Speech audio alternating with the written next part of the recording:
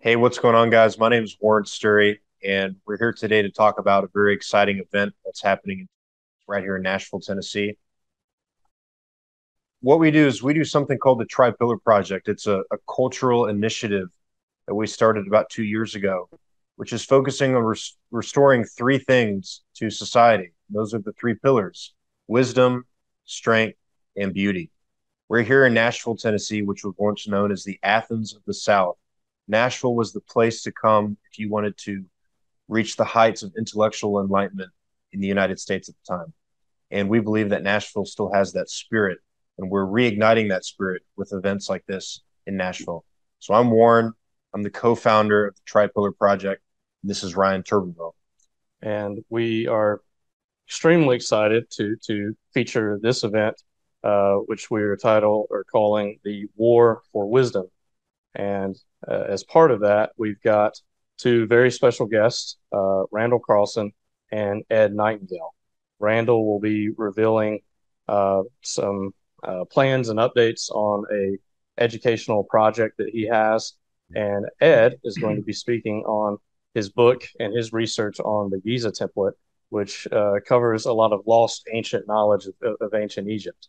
So we'll be having a, a wide variety of uh, this new paradigm in education and new plans mixed with a uh, really interesting take on some ancient knowledge and some ancient wisdom.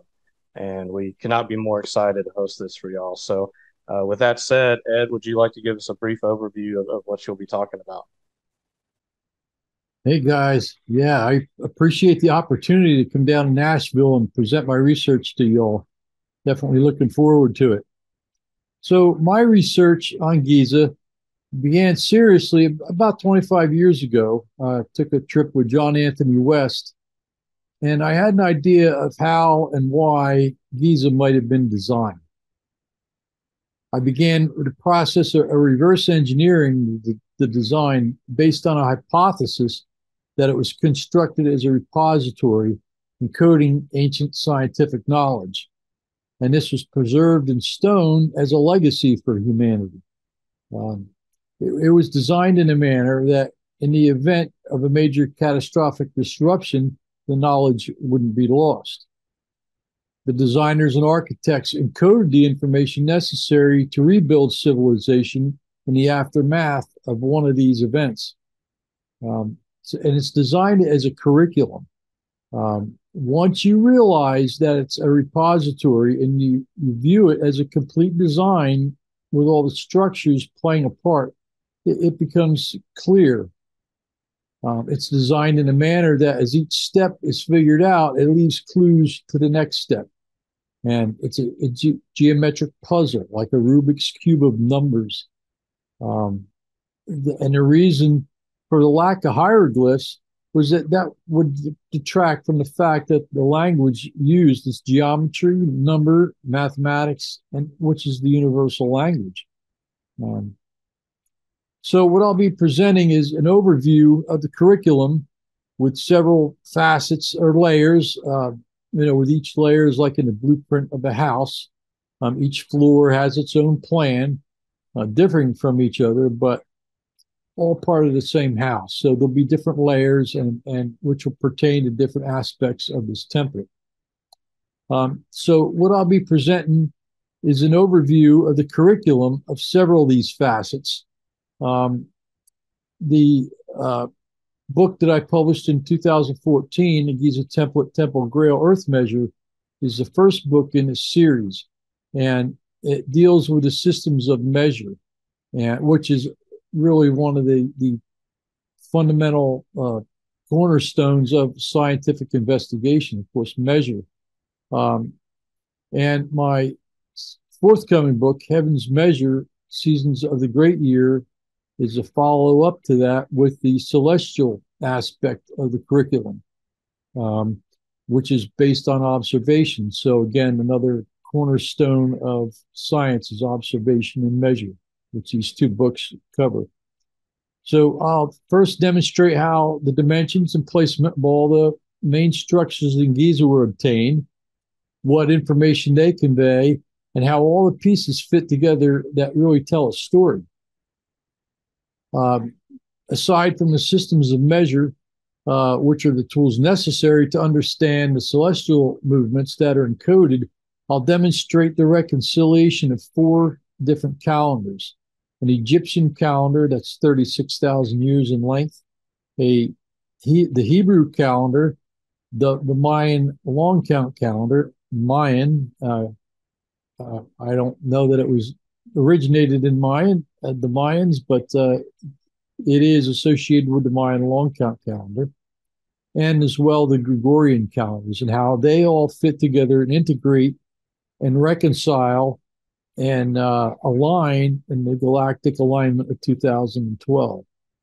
Um, so they were mapping the trajectory of our sun, uh, Sirius. They were watching. They were watching Orion, uh, of course, Regulus and Leo on on the ecliptic, the zodiac, and the precessional cycle. Um, so that's the geometry all plays into these calendars. They're all each calendar represents a specific point in the geometry of this motion. Um, and to confirm the template hypothesis, I'll show how this information has been hidden and suppressed uh, by different groups uh, for millennia. And as well, you know, it was it was passed on in in a way that was necessary. Um, uh, and to be hidden, um, I guess there's there's reason to believe that that's wasn't totally the wrong thing to do. But anyhow, the, the uniqueness of the template with its numbers and angles and and you know just the the different specific uh, shapes and whatever, it's you know allows easy identification of its use in other structures uh, with other groups of people and and uh, societies or, or whatever.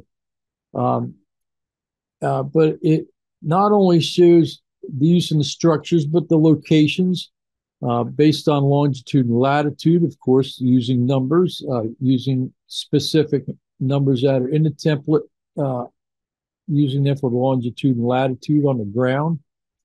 And then likewise, in the constellations, and there are asterisms in the sky, which is mapping the trajectory, which is uh, a beautiful thing to see. Uh, I'm really looking forward to to showing it. Um, but the uh, the mythology and the stories also go hand in hand with these uh, w- with this map and this trajectory, and, and, tells a story of of what happened, and um, it's it's in the great works of art and the symbolism and it's still used today and it preserves and encodes this knowledge, really assuring that it's not going to be lost. Um, so, what I've been able to do um, throughout the research here is I've been able to track the telltale signs of the template, and I'll present evidence that this knowledge was well known and used, uh, in particular here for this presentation, the Knights Templar, or the Knights of the Template and um, we'll we'll get into the words as well in this the linguistics, and I'll demonstrate that a lot of the names for our stars, constellations, etc. Actually, their names uh, imply their functions. Uh, so that'll be an interesting part, I think, for everybody to to learn. Um, but we'll see that the Knights Templar in particular, we're going to focus on in this presentation. Uh, they preserved this knowledge uh, and the treasures really that they that they retrieved when they were at the Temple Mount, and w- which really all those uh, that information and knowledge and and treasures, some really originated in Giza, so it all really began there. Um, but they they hid them uh, eventually after they left the Temple Mount. Um, they made their way to Oak Island in Nova Scotia, and uh, I've done an extensive amount of work on the Oak Island mystery, and uh, have been in contact with the Laginas on that. Uh, the people who are investigating that in Nova Scotia. But uh, the reason why they chose Oak Island really is very simple. It's because the longitude and latitude numbers are directly connected to numbers that are relevant in the positions of stars and and uh, alignments that occur at the year he, at the year zero of the Hebrew calendar. Uh, so I'll present that and also show that uh, the Oak Island mystery is really connected directly to the founding of the United States of America and how the, the first Masonic Lodge is tied directly to uh, Oak Island, not only in its the year of its founding, but the uh, location of, of its first uh, uh the first uh, Masonic Lodge, which is the Green Dragon Tavern in Boston. I'll also show how Oak Island is tied directly to Washington, D.C., again with numbers um, that they used uh, that that relate to the, the calendar, calendars, and um, I'll demonstrate how Washington D.C. was laid out um, completely using the template, the Giza template uh, that, that, was um, based in Giza. Um, so, you know, I hope you'll find all that of interest. And um, the, the I believe too that the United States was really founded with the understanding of this template and this uh, cycle of time that really uh, aligns with a great alignment of the 2012 galactic alignment, and um, it was poised to be the the uh, you know the the bright shining uh, city on the hill, the the country that really was leading the way for uh, free thinking men and uh, you know just uh, being able to be free thinkers and and have um, you know, based on educated people and hardworking ideas, which unfortunately now has really uh, been turned against us, and you know, our education system is really uh, deliberately designed to to dumb us down, and uh, uh, we need to turn that around. And that's what really excites me about Randall's new mission uh, with uh, you know, turning the education system around and incorporating new ideas with these ancient traditions and wisdom that that has been preserved uh, by our ancestors and these institutions for millennia. Um, and it was a lot of work to do that, and we need to get back to that and understand what's going on there. And uh, regular people need to understand it. There are people that understand what I'm what I'm presenting here, uh, not all of them have our best interests at heart. So we need to look at it and get get on board with some new education. And uh, you know, it's just really an honor for me to be a part of this endeavor, and I can't wait to share what I've discovered with all of you and uh, make a contribution to this uh, war for wisdom. You know, so uh, March the fourth, I'm looking forward to it, and can't wait. Appreciate it. Thanks, guys. We're excited to have you, Ed. I mean, uh, Randall, you, you've you've talked about creating a new paradigm in, in education, but essentially a, a, lot of it is is just returning to these ancient modes and traditions of, of teaching. Could you uh, tell us about that? Give us. A- well, yes. I mean, that's one of the the fundamental functions of these these ancient traditional societies was education. Uh, but their thought of education was educating the whole person. And I think those of you, those people who have been paying attention to what's been going on with education in this country over the last, particularly half century, but really it was built into the system right from the beginning that it wasn't about developing the whole person. I mean, it was a very factory based system.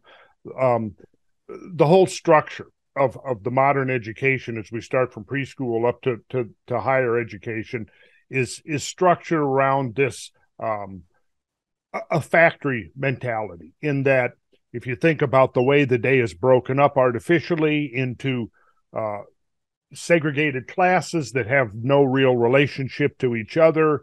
You know, there's a bell that rings, and no matter where you happen to be, you could be completely in the zone, you could be on a roll, you could be really the creative juices might be flowing, but then the bell rings, you got to stop what you're doing, you got to get up and you go to a different class, a different teacher.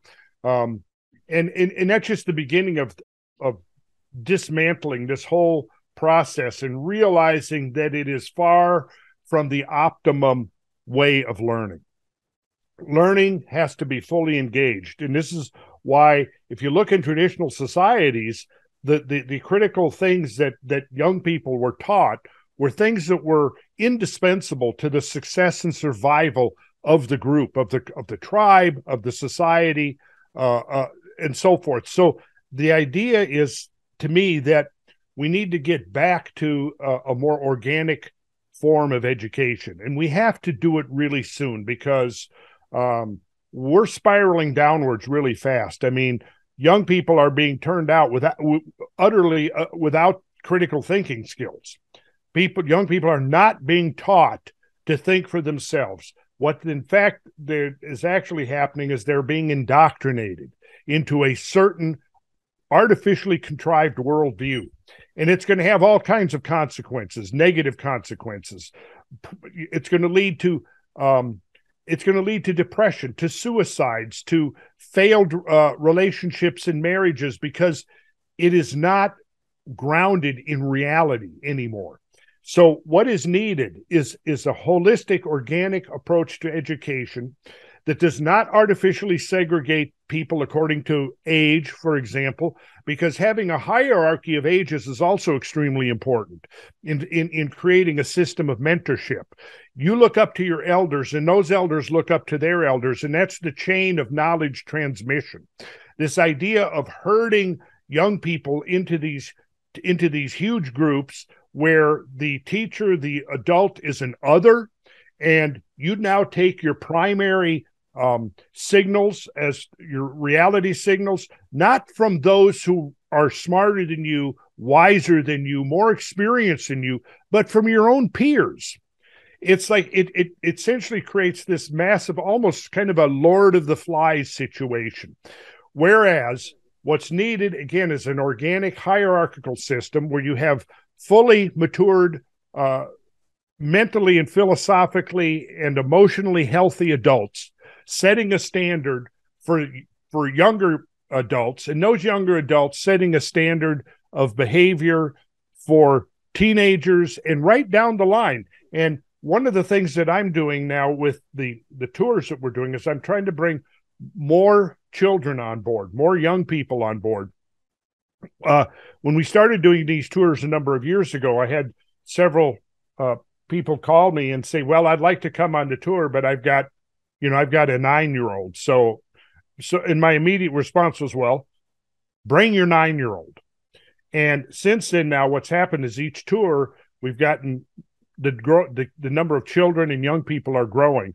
And what I'm finding is exactly what I knew I was going to find was that within a matter of a few days, they become totally integrated into the essentially into an adult society and loving every minute of it.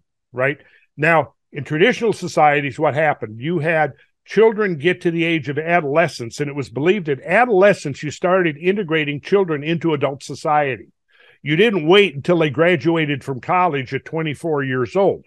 But what we have now is a system that essentially wants to infantilize the generations right up well into their adult years so that they're still having to take their imprints from authorities, uh, and I put that in in in in quotes authorities because that's what the system is di- designed to do. It's designed to inculcate subservience to authority, and what we need is a system that's completely reoriented about bringing.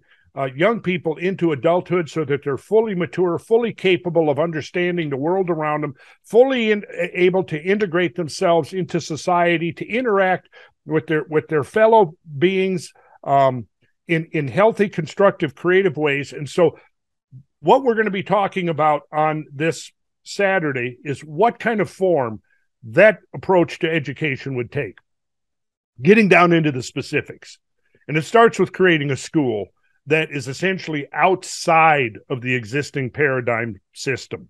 Um, that's step number one. You got to get away from completely get away from that because it is beyond salvation. It is beyond redemption at this point. It is a system that has completely gone, it's obsolete and there's no point just like with an old old building that that you know is beyond the point of of of salvaging you, sometimes you just have to tear things down to start new so what i'm saying is that by tearing down this this this system that's come up within the last century basically what it is this authoritarian centralized hierarchical system that's come up it has to be moved out of the way and then we can get back to the truly organic and traditional. We can migrate those forward into our own time, and then we can adjust them as needed, adapt them to the fact of our 21st century life. But the principles themselves are solid, they're proven over countless generations and that's what we're going to try to do. We're trying to resurrect that and and be able to use 21st century technology and tools and science and information to establish a new school slash community slash conference center slash retreat that can multifunction as all of these things, but ultimately to bring people together from all walks of life, from all ages, from all backgrounds, accepting only the, the, the quality of one's character, not the secondary consequences. Bring these people together to help establish this freedom network that's growing around the planet that really desperately needs to to evolve in the as quickly as possible. And so that's very much going to be what it's about. And it's going to be about how we can use the tools that have come down to us through the centuries, how we can use those tools powerfully to create something new, yet still incorporating something that's that's hallowed and sacred and ancient that we've uh, inherited because it has been preserved and handed down to us, and sometimes at great cost. And so it's going to be the, the, the esoteric, it's going to be the philosophical, but it's also going to be about the practical day to day. How do you make it work? And so this is what we're going to be talking about, and it's only going to really be the kickoff for this, for for putting these ideas out there. And there's a lot more to it than we're going to be able to to discuss for a few hours on Saturday. But it's but it's laying a cornerstone. It's it's um, making this the, the first step towards this um, this journey back to wisdom is essentially is how I'm seeing it. My background, by the way, is that I have been an educator. I'm a builder. Uh, is one of my incarnations. My other incarnation is a researcher and educator. I've been uh, organizing and teaching classes. I uh, gave my very first lecture in 1980 and have been organizing lectures, classes, presentations ever since then. In the mid 90s, I began organizing classes and courses, things for for young people, primarily uh, uh children and teenagers that had been uh, that were being homeschooled, that uh, whose parents needed um, some supplementary education. And so I brought um, several things to the table. I, I taught mathematical courses uh, that began with sacred geometry. So I combined art and mathematics. And by I would teach mathematics by bringing the students through a succession of of uh, creative exercises, particularly drawing using the classical techniques of compass and straight edge. And I found that that was a very powerful and fun way of teaching mathematics. I also organize many classes and, and field trips going out into nature on various levels to learn about the things that I'm particularly uh, knowledgeable about, which is uh, mostly geology and astronomy and hydrology, glaciology, things like that. So, um, and then I would sometimes bring in um, associates that could also teach about other things that allowed me to learn as well too. So we might go out in the field and and somebody much more knowledgeable about botany than myself i would invite them along and they could uh, teach me and other adults right along with the kids. See and so that's what i tried to do. I tried to integrate so that you had kids as you know usually starting at eight or nine or 10, you know, depending on the child, up through adolescence, through teenagers, through young adults, all the way up to senior citizens and covering the gamut. And I found that when you have a group like that of all ages mingling together, those barriers begin to break down. The, the when you know when I came of age uh, in the '60s and early '70s, there was lots of talk about the generation gap. I don't know if you guys have ever heard that term. Anybody who any baby boomer is going to know the term generation gap. That was something that was brand new to my generation, and it was an outgrowth of these gigantic factory uh, high schools and schools that came uh, uh, after World War II. And before that, there was no generation gap because the primary teacher, and this is the way it has always been, and you guys know this well, the primary teacher of of kids throughout the ages has been their their their father and their mother. And boys learned their trade, their craft, their skills from their father. And that was across the spectrum. Now, if it was the elites and the rich, they were given they were tutors were hired and so on, but there was no factory system. So that's what we're going to be working on moving away from here. And we're going to be starting at whatever scale we're able to uh, that the resources will allow. And uh, there's a whole lot to talk about as far as how, and really, really interesting stuff about how some of these ancient and new principles could be applied uh, to this creative work. So that's what we're going to be doing Saturday. Yeah, I'm super stoked. I'm really looking forward to it. Um, Ed, we're really excited to have you. Randall, we're super stoked to have you again for the second time here in Nashville. And for anybody watching wants to come to this event, it's on March 4th, which is a Saturday from 1 p.m. to 5 p.m. right here in Nashville, Tennessee. You can go to www.tripillarproject.com to RSVP. If we still have tickets by the time you watch this video, hopefully that we do. And uh, I'm sure it'll all be in the description. We'll have a link in there and everything like that. But Randall, really excited to have you back in Nashville. Ed, excited to show you Can't Nashville. wait, man. Can't wait. And um, event, so I'm I'm super stoked. And I'm really excited about it. Let's do this. Let's uh, Yeah. let's wage a war. forward to hang with you Let's guys again and seeing what war. what emerges from these from the this uh, work we're doing together. Yeah, I'm excited. Me too. So thanks thanks for the time, guys, and we'll see you here. Yeah, great guys. Again, I appreciate it. Look forward to seeing you on Saturday, March 4th. All right, see you guys.